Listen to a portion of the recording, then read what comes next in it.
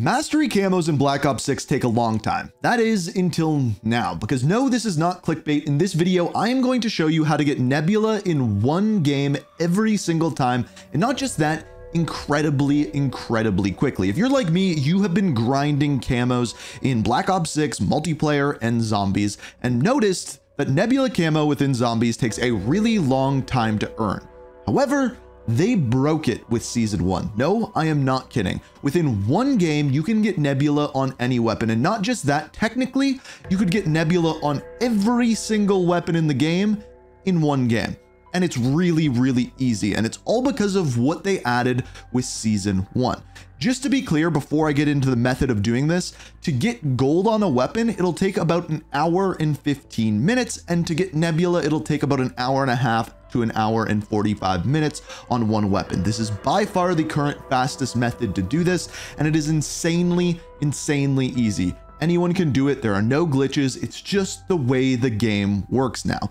Let me show you exactly what I mean. So when you go into zombies here, you are now going to have another option as far as which mission you can select. You can select standard or you can select directed. Now, as far as getting Nebula on a weapon, there are a couple of things that you're going to need to do. Essentially, the hardest things to do are 2000 headshots. I'm going to show you how to do that. Get 30 special kills with a weapon, which is in other words is get 30 mangler kills, and then get 10 elite kills all of which you can do in one game. Now, normally you wouldn't be able to do this because by the time you got 2000 kills, you're going to be at like round 35 to 40, which at that point your gun's a pea shooter. Then you need to back out, go into another game, get 30 special kills, back out, go into another game, get 10 elite kills. It would take about three to four hours per weapon. This takes an hour and a half. So let me show you. So when you go into a game of Directed, you are going to notice right away in the top right hand corner of the screen, you are going to have a round cap. And the further you get into the map's Easter egg, the higher that round cap goes all the way up into round 15. The magic number that we are going with here on Liberty Falls, by the way, this doesn't really work on Terminus. You can do it, but it's not nearly as good and you're going to see why as we go through. Now, that magic number of 11 means you want to get to round 11 and stay at round 11. There's a couple of reasons for that.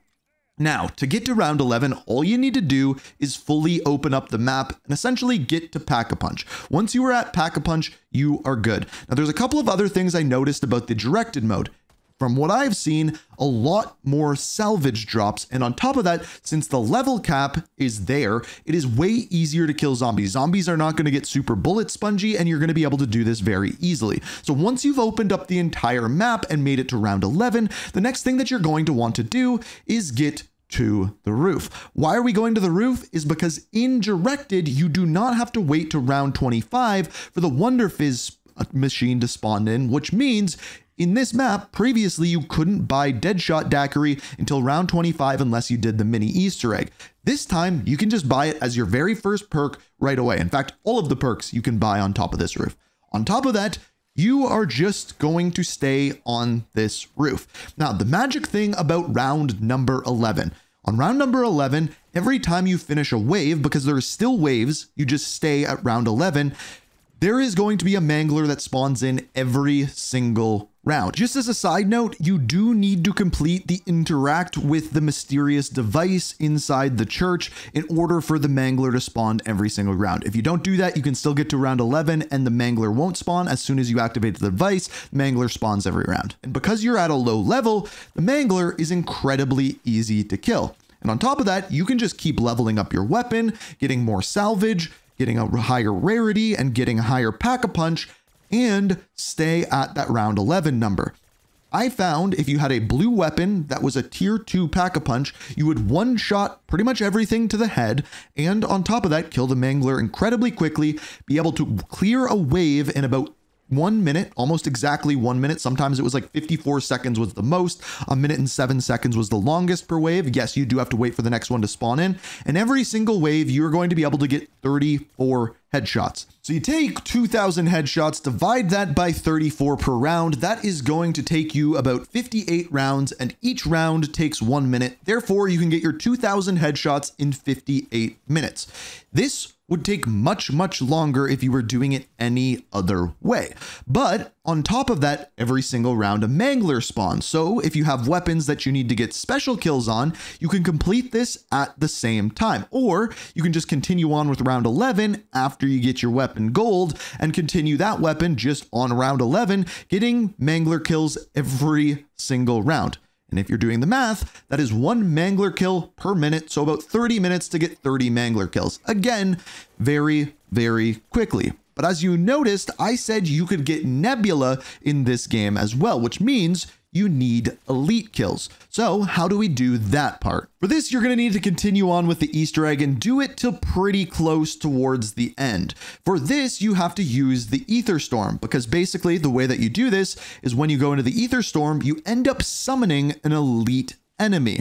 And when you do so, you just don't complete the Easter egg part. In other words, you don't activate the trap, you just kill the elite monster, and then about every minute and a half, you're going to be able to respawn another elite monster. The fastest way to do that is go pick up the canister, put it back down, go back to the Ether Storm, reactivate it. It will immediately summon another elite monster, and you can get your 10 elite kills in like 10 minutes. This is incredibly easy to do. And again, because that level cap only goes up to 15, you can triple pack your weapon. You can get three plates at this point. You can do this incredibly easily and incredibly quickly. Now there's a couple other tips that will speed this up as well. So personally, I liked staying on the roof because the zombies literally come at you in a straight line if you go where I go here. Very easy to get headshots. On top of that, there is an ammo box up there.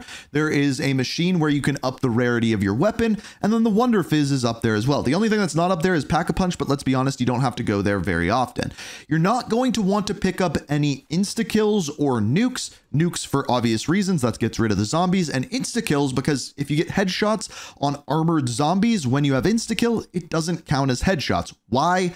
I don't know. Now, there are going to be a couple of challenges that you have to adjust to, whether that's 300 point blank kills. Again, this will be incredibly easy to do this way, or whether that be get vermin kills. There is actually a little bit of a trick to that one. If you do not activate the machine, then vermin kills will spawn in. And as soon as you activate the machine, the vermin basically stop and manglers start. So based off of the challenges you need to get for a weapon, adjust the strategy that you are using. You might have to do that for a couple different challenges here and there. So like vermin or parasites, obviously you got to do that one on Terminus. Now there may be one other thing you noticed about what I said. I said you could get all 33 weapons completed in one game because you very rarely need to buy ammo and if you do it is incredibly cheap and you can kill zombies incredibly quickly. Technically if you're getting close to completing a weapon you can just go get a wall buy weapon or go to the mystery box and grab another weapon and grind that one at the same time. So say for example you were trying to level up the AK and the MOG both of which are wall buy weapons. You can get both of those and maybe one of them you're going for headshots and the other one you're going for special zombie kills.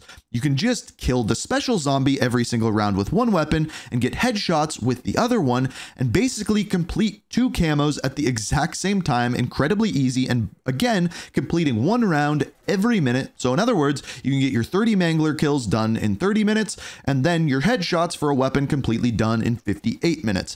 It's a very, very fast method and I don't even think any other way is close to this. On top of that, there is no XP cap, there is no headshot cap. You can just stay in this game forever and do this forever. And on top of that, you can save and quit if you want and go back, look at your menus, figure out what weapon you want to do next and make a plan of attack. Just go back into round 11 and stay in a game forever and complete all of your Nebula camos in one game. Hopefully this was able to help you out. I know I don't normally do this style of zombies video, but I just wanted to put this out there. Maybe it gets patched in one way or another, but again, it's currently the fastest method and you can complete your Nebula camos incredibly, incredibly quickly. Just doing the math, you can complete your nebula in about 33 hours if you really want to do so. Oh yeah, and while you're in game, you can activate some double XP, double weapon XP, or even double battle pass XP because you're probably going to be in here for a little while. And if you get a weapon that you need to level up, you might as well do that too. And that is for all weapons. So if I helped you out, hit that like button, subscribe, turn notifications on. As always, thank you so much for watching. And until next time, peace.